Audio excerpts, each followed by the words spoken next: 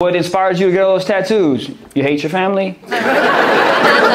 Your dad Died. Your dad died? Yeah. Stop bringing the room down! Happened before I was born. It happened before you were born? Yeah, was. Hold up. I don't know much about science. So he just came and then fucking. Yeah? Damn, your mom got good, bro. That's what's up. That's what's up. You ever come so hard you get a brain aneurysm? That's what's up. Car accident. Car accident. Stop bringing the room down. And what do you do with your life? It's my older sister. That's your older sister. Oh, so you knew that you did know the dad. Yeah. Damn.